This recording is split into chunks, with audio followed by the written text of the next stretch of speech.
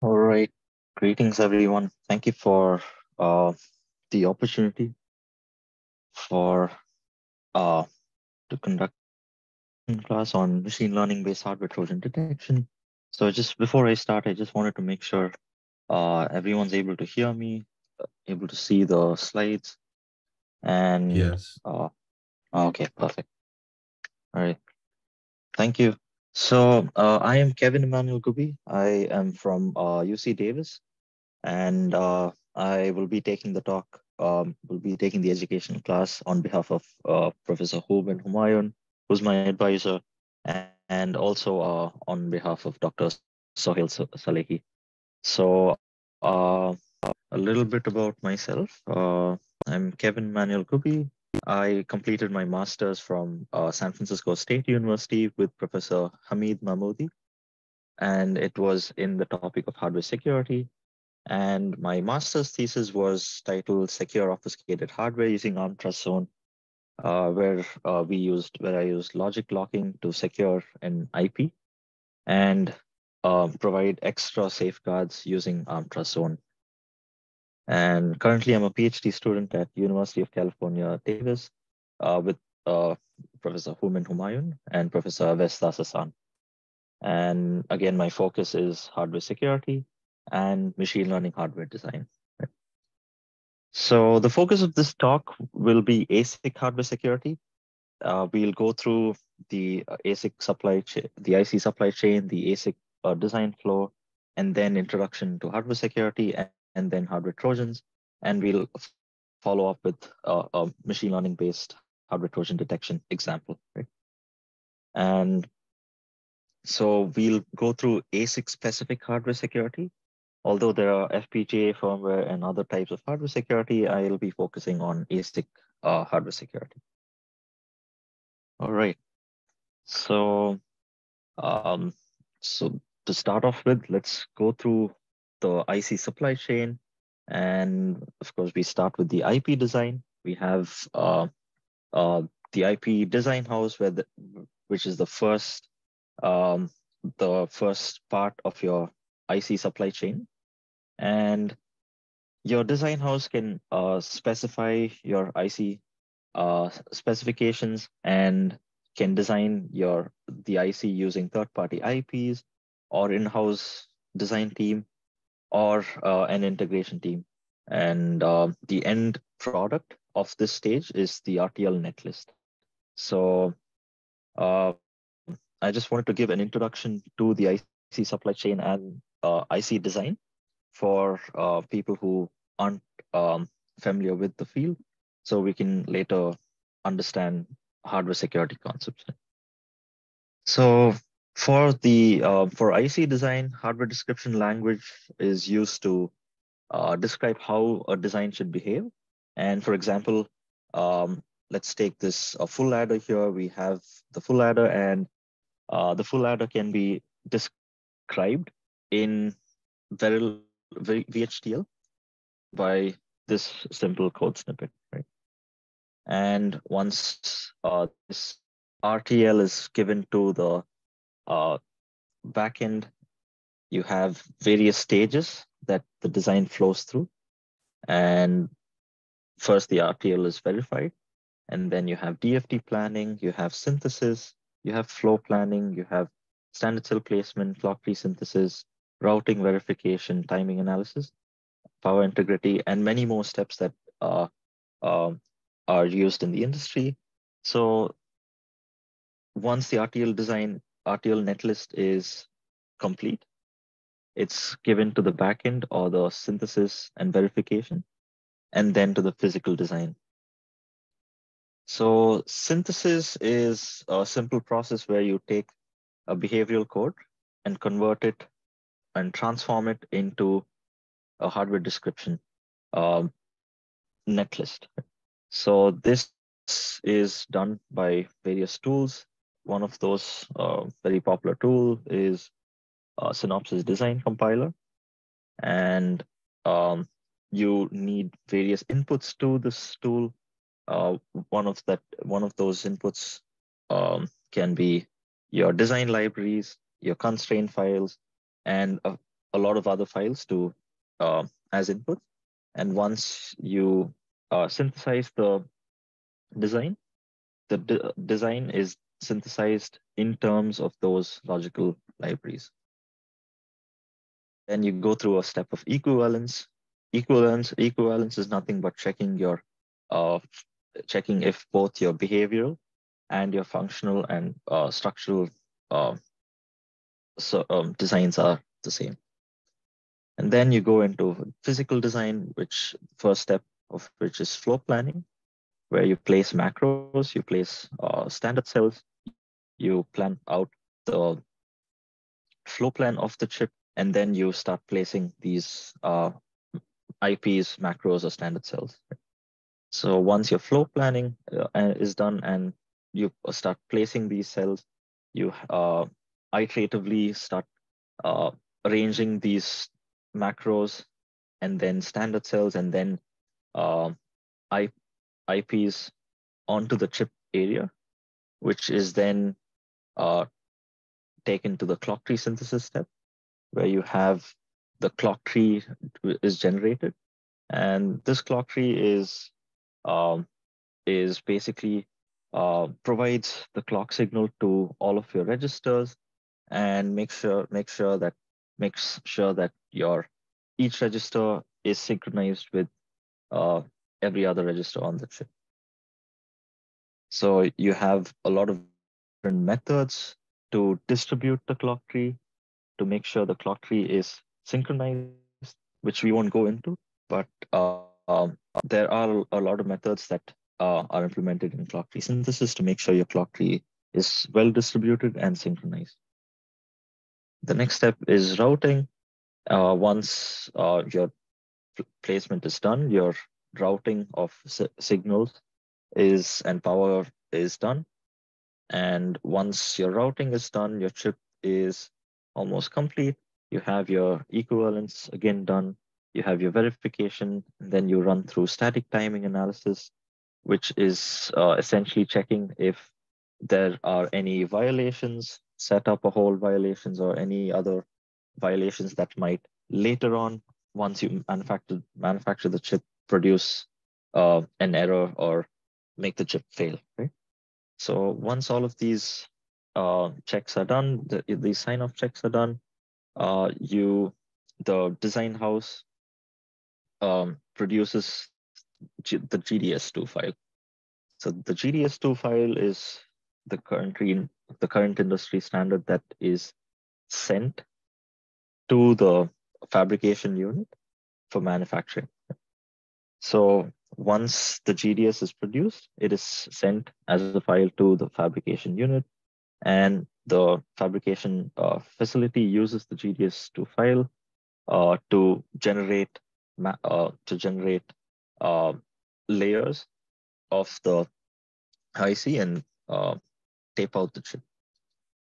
So the fabrication, uh, the foundry accepts the GDS2 from the physical design house and then takes it through a complex uh, sequence of steps and then gives out the fabricated IC.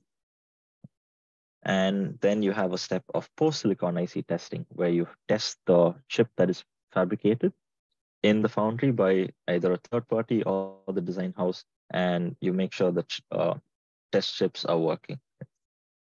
And then you have packaging and assembly where you uh, uh, connect your uh, package, uh, connect your chip to your PCB and to your package and so on. Um, you also have 2.5D uh, and 3D uh, integration nowadays and various methods to integrate these packages.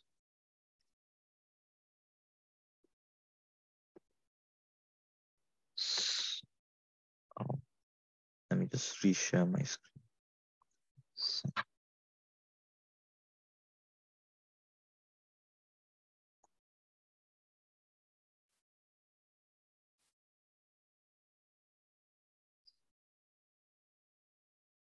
Okay, so I'll just so, yeah. So the man uh, once you have uh, the manufactured ICs, um, you use them um, you assemble them and you integrate them onto your PCB boards, you solder the ICs, you uh, add the capacitances, inductors, and build a system. So once you have the system, your product is shipped to the market. Now, this is the basic uh, IC supply chain. Now, a good understanding of the IC supply chain is necessary to understand the vulnerabilities of hardware security uh, in the IC, in through the process. So, um, the IC supply chain, as now uh, due to globalization, has uh, moved to different uh, parts of the world. Different countries uh, contribute uh, to verification. Different countries contribute to design, physical design. So the same chip can uh, can be um, developed by several countries at the same time due to the globalization of manufacturing. And this is um, a huge factor uh, for productivity and manufacturability of uh, ICs. However, there is a security uh, threat. So in the past, uh, usually when we discuss computer security or cyber security vulnerabilities, we're mainly concerned about malware um, or other uh, software, uh, malicious software and we relied on a hardware to be root of trust. Uh, that is, uh, which essentially means that your underlying hardware is secure and trusted. Unfortunately, that cannot be the case, as as we'll see that your hardware root of trust can now be breached by third parties and adversaries, and no more is your uh, hardware secure and trusted. Uh, you'll have to build secure hardware to make sure you have a secure root of trust and in turn secure system. The main cause of this is an untrusted uh, supply chain. So although the supply chain ideally would we would like uh, the supply chain to be trusted, it is essential to understand the IC supply chain and the possible vulnerabilities and the threats to safeguard IP from theft and prevent adversaries uh, from tampering with the IC as as you can see that there are various uh, steps and various uh, seg segments in which uh, ICs can be tampered with or uh, adversaries can gain access to ICs. So let's go through the different hardware security uh, threats. So let's um, go through the very uh, few well-known hardware security threats, one of which is counterfeiting. So the threat of uh, the threat of counterfeiting has been an age-old threat where you have different ICs being uh, manufactured, being counterfeited by different foundries, and they are made to look as similar to the original IC as possible. And due to um, as as um, you can you have like various uh, advanced uh, scanning um, scanning uh, methods and tools, you adversaries are able to reverse engineer your IC and produce the exact same IC with the exact same uh, packaging, uh, and they're able to make it look exactly similar to the original IC. So this um, happens usually in a recycling center, for example, and once the PCBs are taken to uh, taken off, the ICs are taken off, and then these ICs are again refined and recycled and sold as new ICs. And these ICs may be used in critical applications, um, and the design house might assume, or the application uh, user might assume that the IC is new. However, the IC might be uh, old and might malfunction a lot sooner than expected. So another threat is IP piracy, where you have um, different IPs, and uh, for example, uh, an ARM IP can be uh, sold at a lower price in the black market, and um, that is IP piracy. You have the a confidential IP being sold um, by a adversary by a malicious person to uh, different entities without the knowledge of the design house. So this is another big threat that the IC industry is dealing with. And the, another threat is IC overuse, where uh, the IC design, the GDS2 is sent to the foundry and the foundry is uh, supposed to manufacture, let's say, 100 ICs. However, there's a um, adversary in the in the foundry, and the adversary manufactures 50 extra ICs, and the design house does not know that there are 150 ICs in total.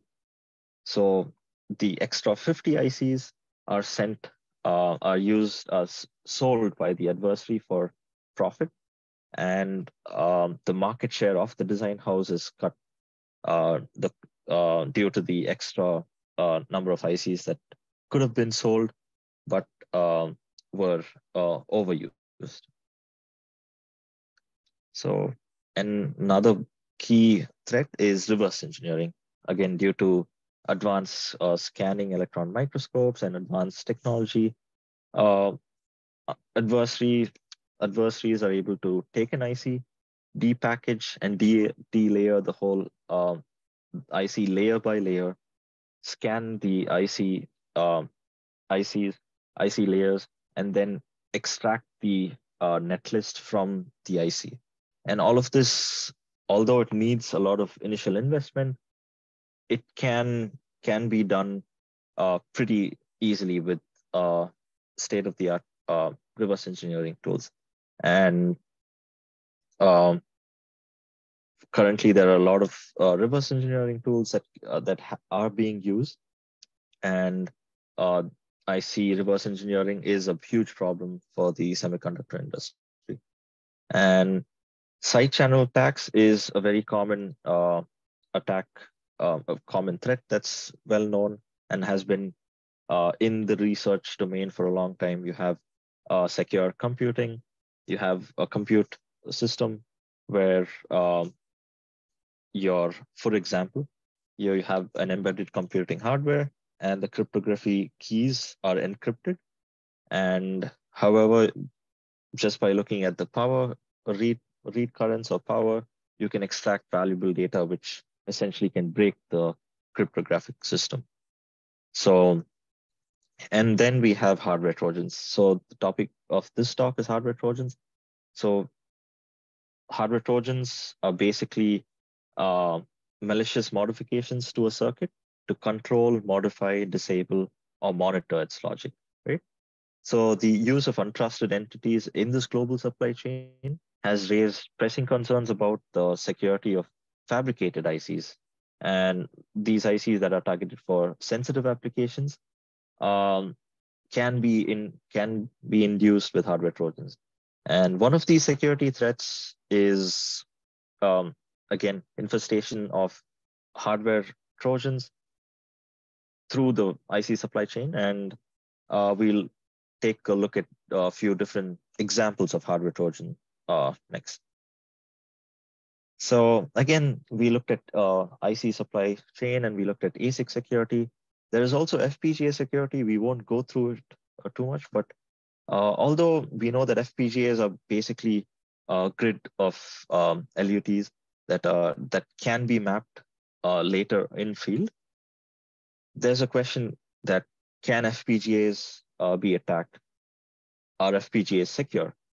So FPGAs are not designed for any specific application, as uh, a lot of you might know.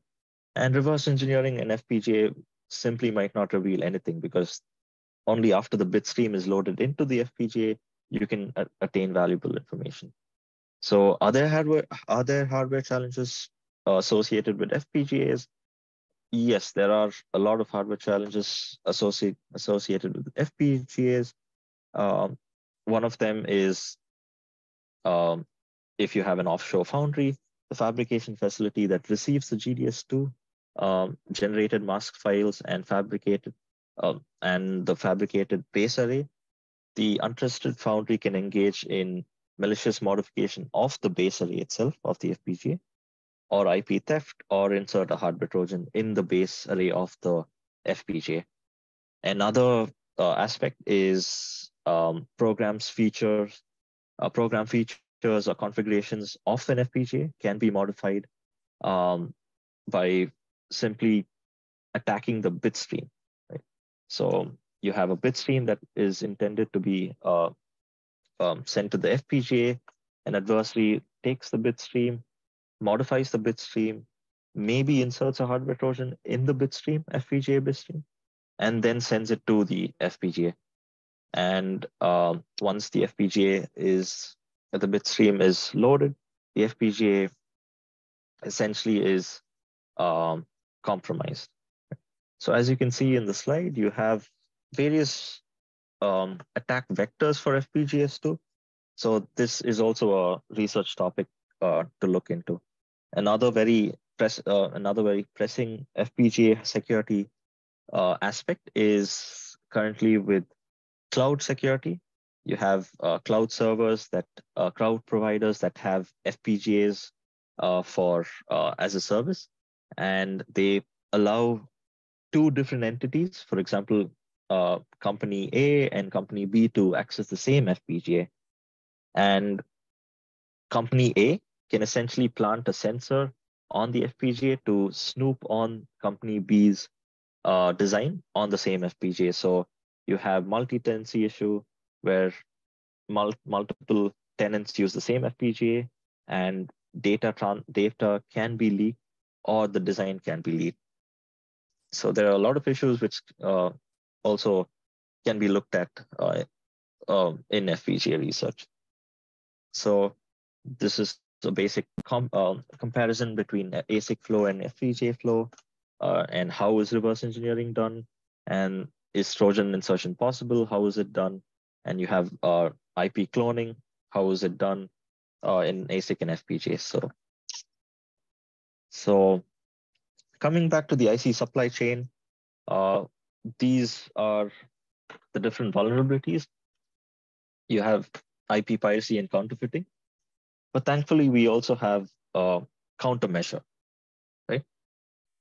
So logic locking or logic obfuscation has been uh, proved uh, proven to um, secure an IP against uh, IP piracy, counterfeiting, by simply replacing selected gates with lookup tables, right, or other logic.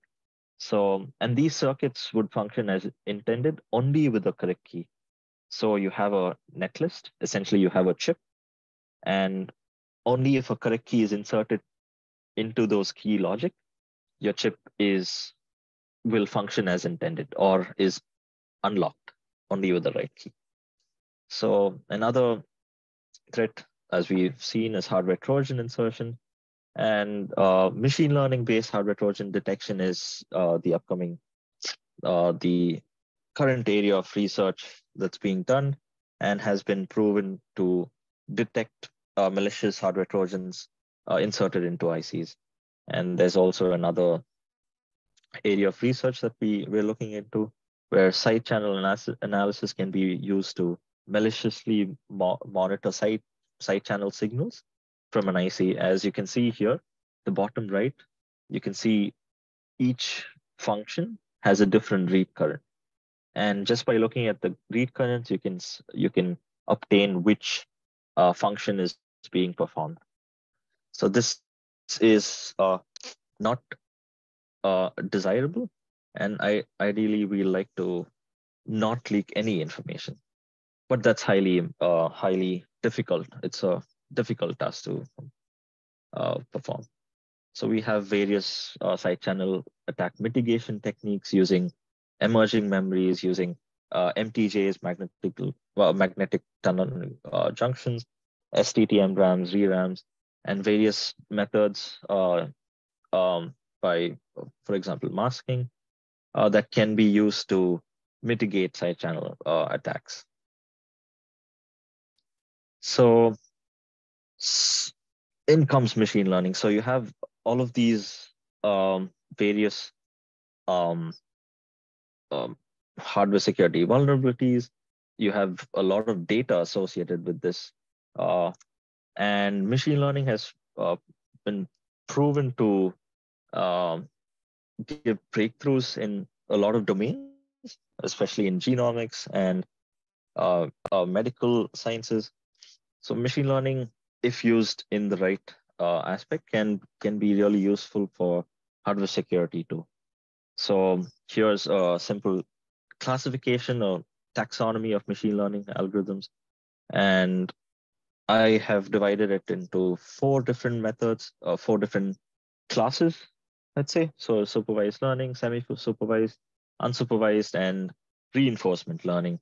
Although reinforcement learning can be put into one of these, I've separated it into uh, another uh, class. So um, we won't be going into uh, the in-depth into, into the algorithms, but we'll see how machine learning can be used to detect hardware trojans and used for hardware security. So just to give give you an overhead overview of uh, uh, how machine learning has been integrated into hardware security, let's look at a timeline of uh, hardware design for trust mechanisms. Um, so over the years, there have been many design for trust mechanisms. That is, uh, mechanisms that have uh, improved the design secure security and trust. For example, watermarking, IC metering, IC camouflaging, split manufacturing, and logic locking. Right? All of these are used to um, are used to secure an IC against various uh, hardware security th threats. And so all of these essentially were uh, proposed to reimagine the trust in silicon. Right? How how can a company say? How can a uh, design house say that their silicon is proprietary only to them and does not have any hardware trojans, etc., etc. So um, all of these attacks, all of these uh, defenses were uh, proposed. However, recent um, introduction of SAT attack uh, uh, in the year 2015, um, SAT attack, Boolean satisfiability uh, has been around for a while, but Boolean satisfi satisfiability attack against logic locking was proposed in 2015, and that opened the door for a lot more attacks and defenses. So um, all of these are logic locking attacks. The ones in green are defenses. The ones in red are attacks.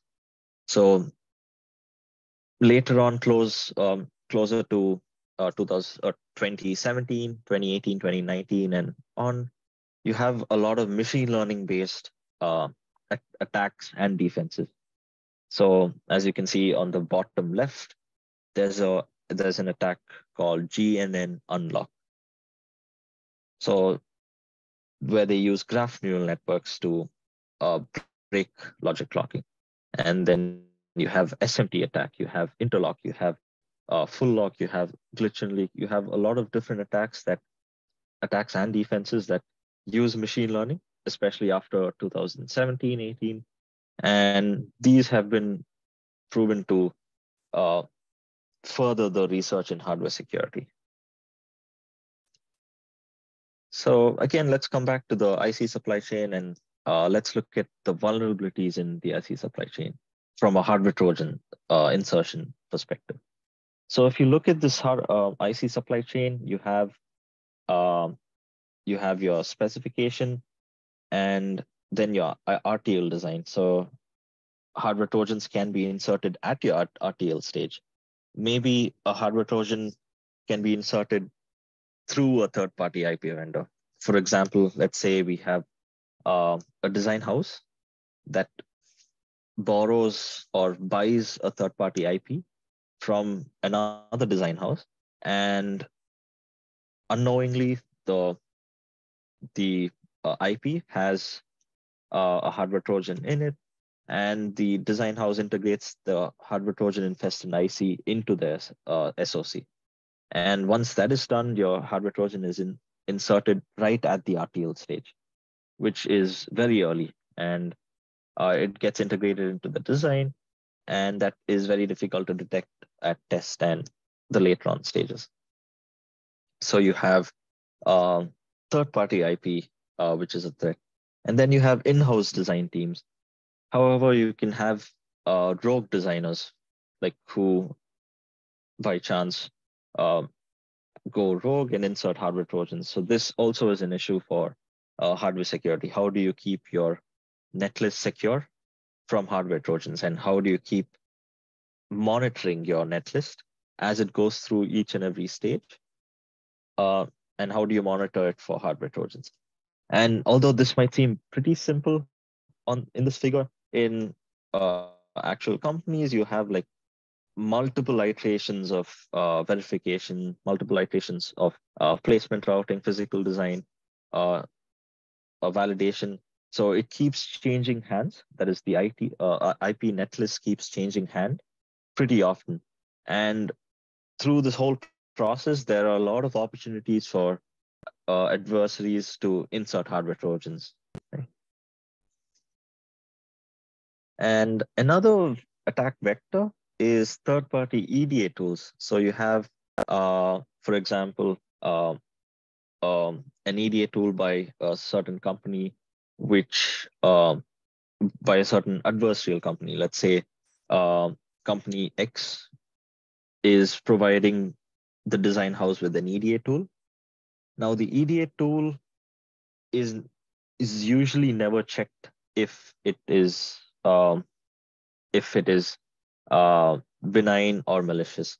So usually the design house just uses the EDA tool, gets the license, and starts using the EDA tool.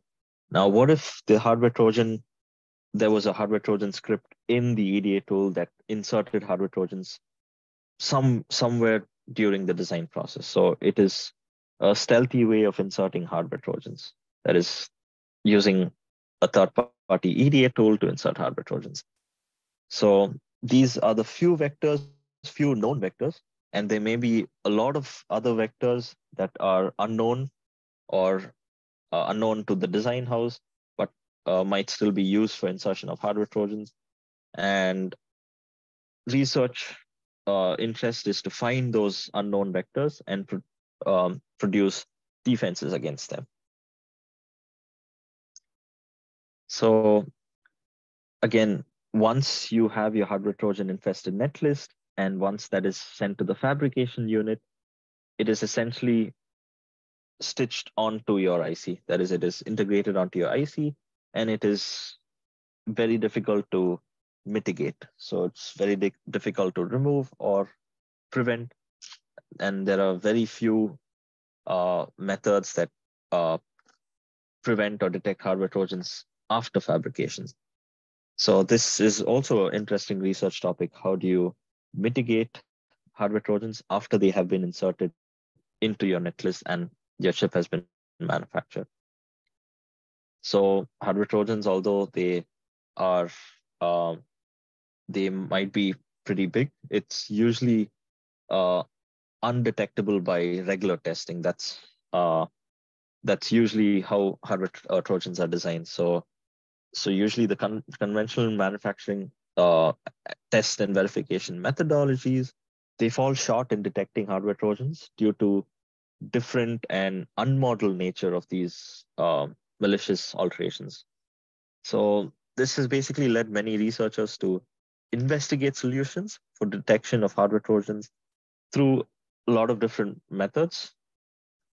One could be statistic analysis of side channel information collected from ICs, and another could be uh, using side channel power analysis.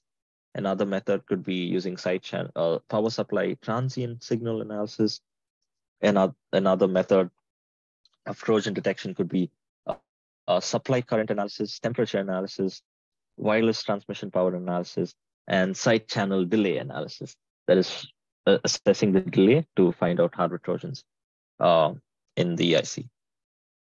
So here's a um, classification of hardware trojans, and there can be more than one adversary for a hard uh, for a Trojan threat model. That is, you can have multiple hardware Trojan uh, attack vectors and multiple hardware Trojans in the same IC.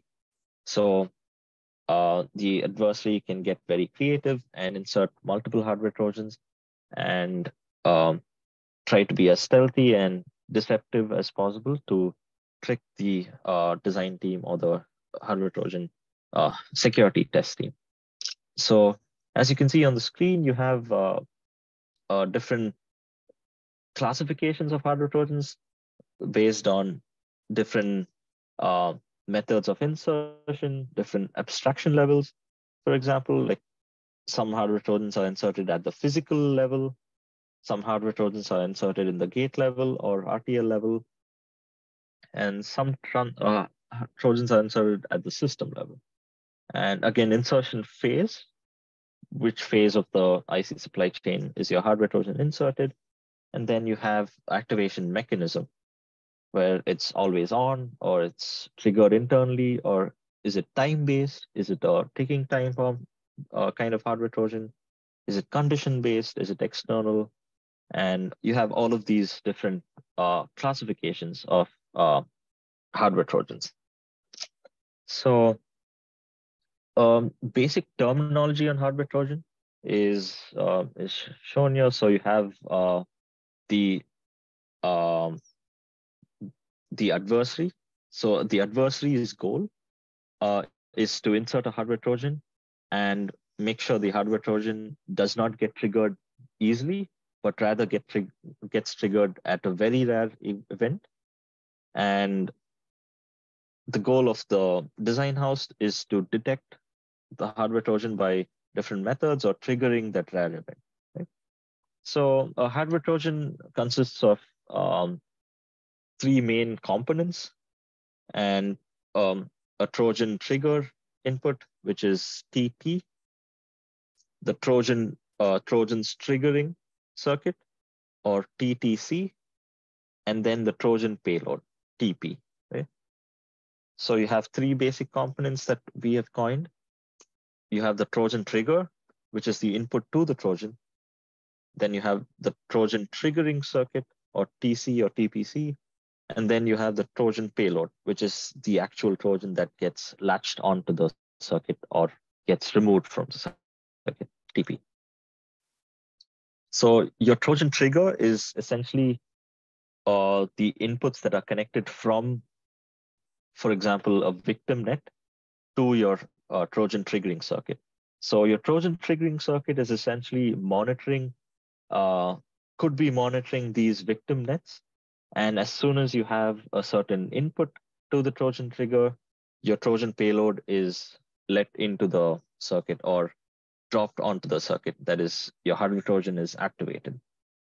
So in the second box, you can, the hardware activation circuit type, you can see there are two hard, uh, activation types that's provided here. So one is purely combinational, and then the other is sequential. So the one on the left is combinational, where you're looking for a certain input, like maybe one zero, or all ones, or 32 uh, bit one. And once you get that input, your hardware Trojan is triggered. Meanwhile, on the right, you have a sequential uh, hardware Trojan where you're looking for a series of or sequence of rare events.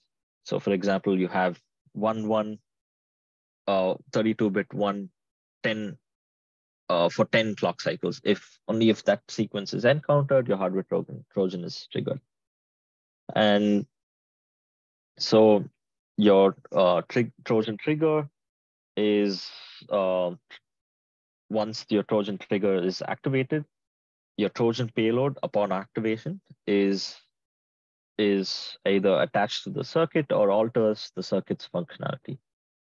And the common assumption is that the Trojan is inserted in all fabricated ICs. That is, uh, the way of testing or the mindset of testing is to make sure that you test each and every fabricated IC for hardware Trojans you cannot it's best not to assume that hardware trojans uh, there aren't any hardware trojans so let's look at an example of hardware trojan um, so a simple bypass hardware trojan uh, can bypass a cryptographic hardware which could be used to encrypt uh, data on your phone for example so the adversary uh, could be somewhere in the supply chain and they have inserted a Trojan controlled by uh, controlled uh, a Trojan control bypass mechanism. So essentially, what happens is based on a sequence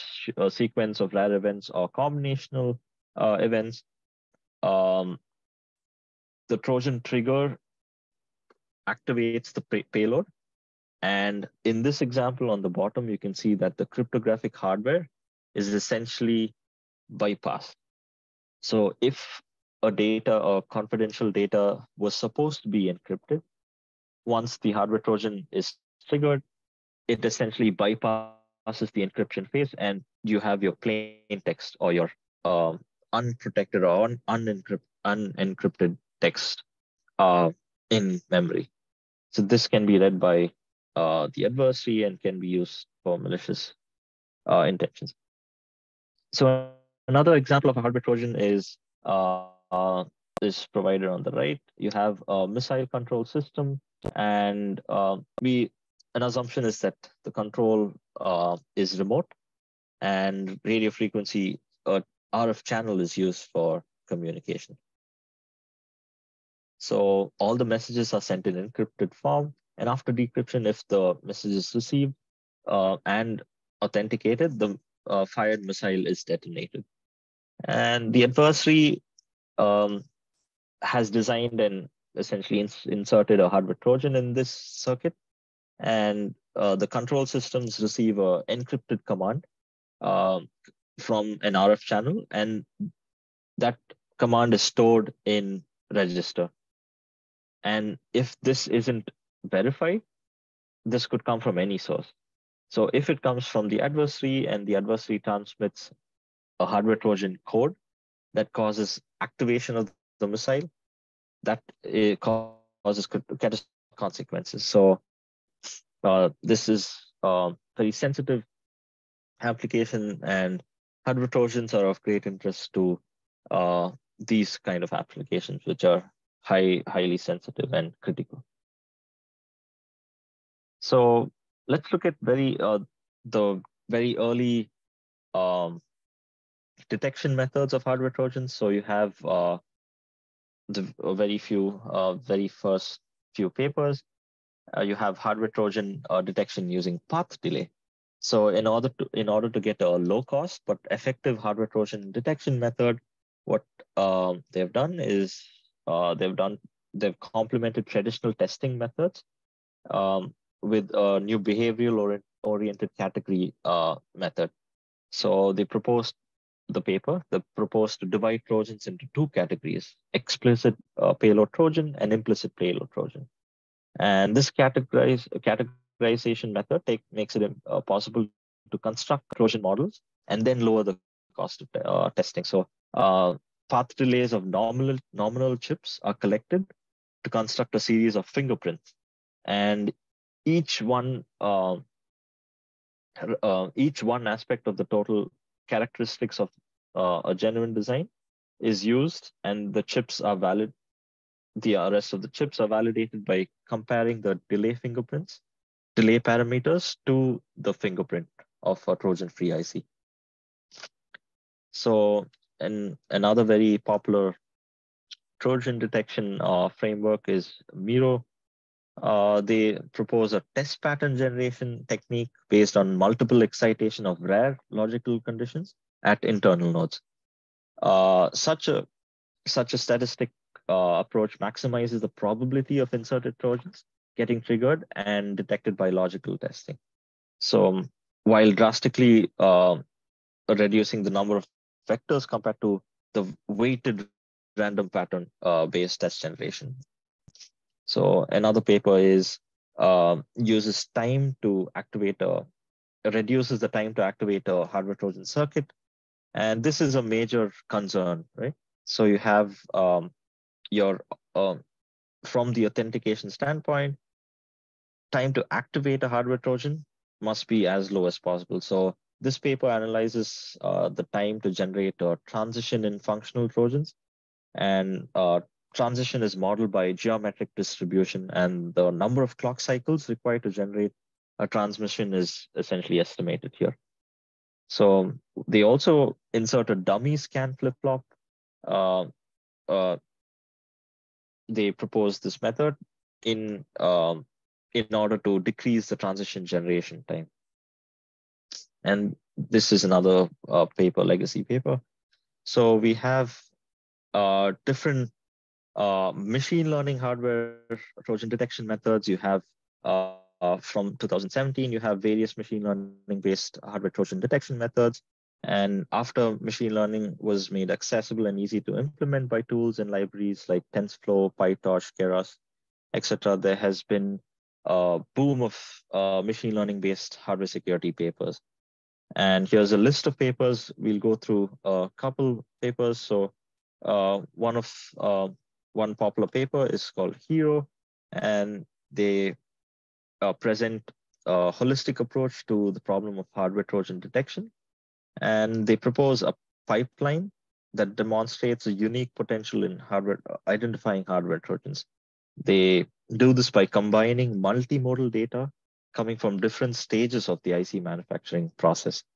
So apart from their innovate, uh, the innovation that's done here, um, they also focus on a future project vision uh, and they present the main steps required for scaling up the, the hero technology readiness level, uh, as well as um, the plans for commercializing uh, commerce, commercialization of this technology. Uh, the uh, hero um, pipeline is applied at each data source, as you can see on the in the figure, and uh, the proposed um, uh, hero approach is uses deep learning to uh, get in the inputs from side channel analysis, place and route, and gate level netlist to give you a detection result.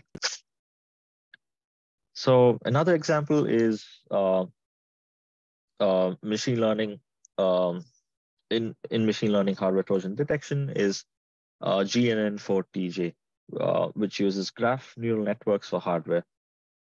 So essentially what they do is they address the limitations of hardware uh, detection solutions. So the shortcomings are one of the biggest shortcomings of hardware Trojan detection methods is the reliance of a golden reference and the unable uh, un, the um, uh, the reliance of a golden IC is uh, is good as long as you are able to manufacture your IC in a trusted foundry. But if you do not have a trusted foundry, uh, reliance on this golden reference is essentially not feasible. So uh, another uh, shortcoming is the limited detection scope uh, for some type of hardware trojans. And the detection is not scalable or it's too complex. So what the paper has produced uh, uh, proposed is a new golden reference free pre-silicon hardware trojan detection method that learns the circuit behavior and identifies the hardware trojans due to their malicious behavior.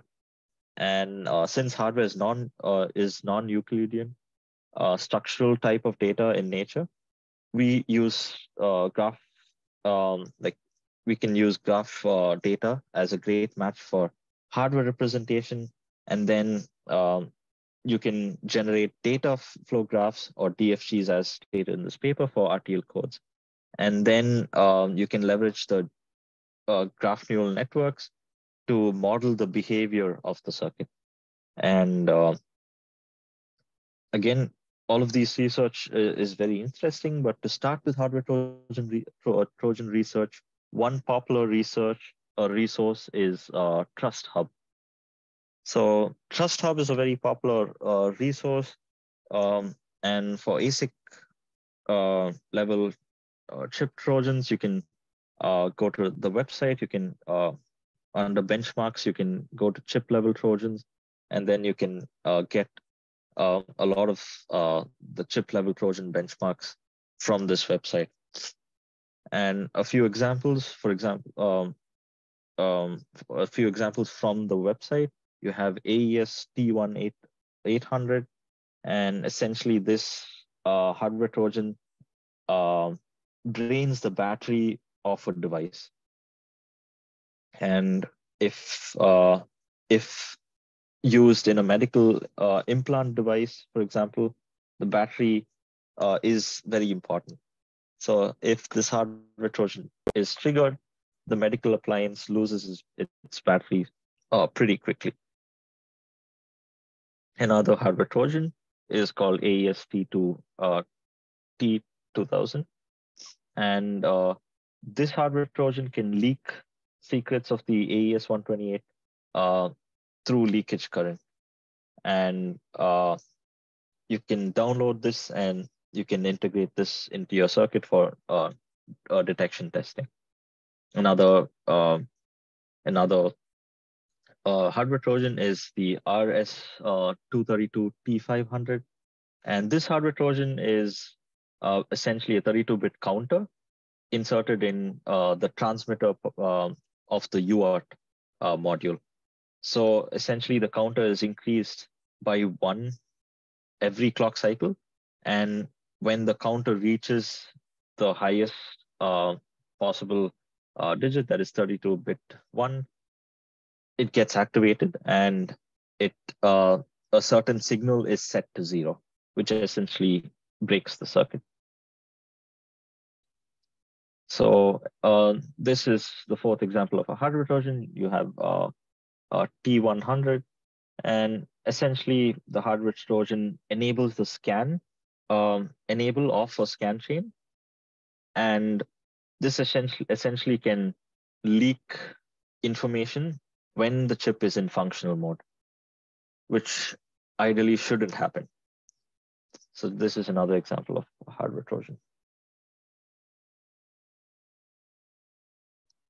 So there are key challenges in ASIC hardware Trojan detection, and uh, the uh, uh, triggering uh, input of a hardware Trojan poses a additional uh, capacitive load on the driving circuit, and uh, a Trojan can be detected by tracking, analyzing, and uh, analyzing the changes in delay, for example, and compared to that of uh, predicted by the static timing analysis. So the challenge um, for hardware Trojan detection the key challenges in ASIC hardware Trojan detection are process variation, process drift, and voltage noise. So these are the key challenges that uh, prevent uh, or hamper with your Trojan detection.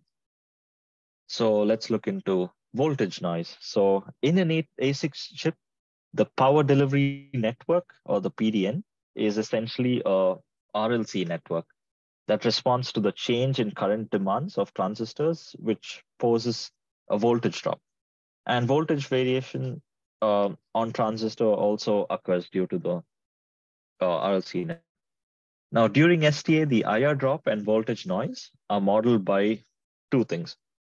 One is specifying a rail voltage below the supplied voltage to account for IR drop.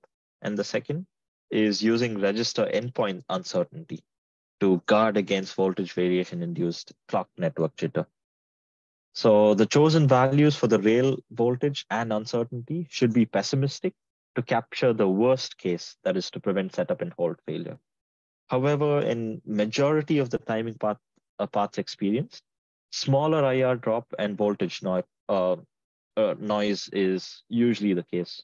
So although you, you have, uh, you would like to have pessimistic or worst case uh, um, values chosen for your rail voltage and uncertainty in order to prevent setup and hold failure. Most of the timing paths experience much uh, smaller IR drops and voltage noise. So um, having such a um, large margin is not necessary. So this essentially poses a security threat. The uh, pessimistic margins build large unused time timing slack into the majority of timing paths, uh, which is not visible to the physical designer and the test engineer. Now, the unused timing slacks can be used by an adversary in an untrusted foundry to design a Trojan and hide its delay impact. So essentially, a, a, an adversary can hide a Trojan stealthily just by using the unused timing slack. And during static timing analysis or testing by the test engineer or physical designer, the hardware Trojan is never detected because it's still within the timing, uh, within the uh, pessimistic timing margins that's that was introduced. Now, the second uh, challenge is process variation. So process variation refers to the variation in physical and electrical properties of transistors in the result of physical limitations faced during the fabrication process. So it affects the delay and drive strength of fabricated transistors. And process variation makes Trojan detection more difficult as one has to investigate if the change in delay is a result of process variation or timing and impact of a hardware Trojan. So a change in delay can can be can arise due to the fact that uh, your hardware Trojan has been inserted or triggered, or it could simply be process variation. So this makes it very difficult for hardware Trojan detection uh, methodologies to differentiate be between process variation based uh, delay, that is process variation induced delay versus hardware Trojan induced delay. The third, uh, the third main challenge is that the SPICE model for the fabrication process in a new technology node is released soon after a process uh, a process node is production ready and is essentially used to characterize the standard cell libraries deployed in physical design house. Now, to guarantee the high yield, the SPICE model and standard cell libraries are padded with a carefully crafted margin. Now, this margin um, is uh, has again has uh, pessimistic uh, margins. That is, you have additional uh, margins to account for various process variations and process. And in addition, the foundry keeps improving the process over time to increase yield